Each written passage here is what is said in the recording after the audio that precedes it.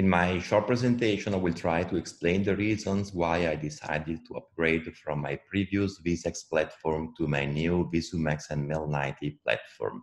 Main reasons are about the possibility of the centration of the treatment on the vertex rather than on the pupil, which is very much linked to the possibility to treat hyperopic and even high hyperopic patients. I can obtain larger optical zones. I have an aspheric ablation profile, which is very much useful for high prescriptions.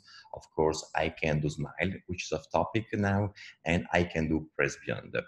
This is an example of a treatment beautifully centered on the pupil thanks to the VISX platform, the same in this case. And now we have treatments beautifully centered on the vertex, as you can see in these examples. Also, now I have the possibility to upgrade the previous treatment centered on the pupil to centration on the vertex. And now these are becoming happy patients. So this is another case where I could upgrade, enhance the previous decenter treatment and now it's beautifully centered on the vertex. Why presbyond? Because presbyopia accounts for 40% of our patients, which is a lot in our practice. We used to do a lot of refractive lens exchange, which is an off-topic procedure. We used to implant both diffractive and refractive lenses, but now we have completely upgraded to presbyond. So why presbyond? Because this is the wavefront coming from an eye corrected with a diffractive IOL. You have those rings with a drop in contrast sensitivity.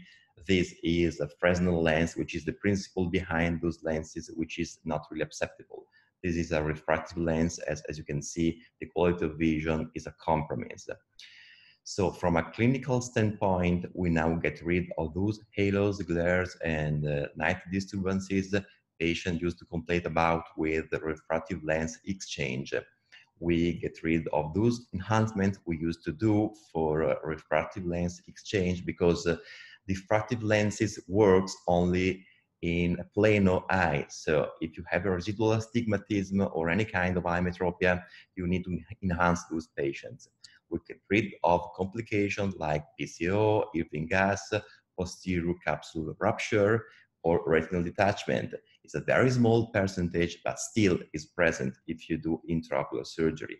And overall, the quality of vision and contrast sensitivity is way higher with Presbyond compared to refractive lens exchange.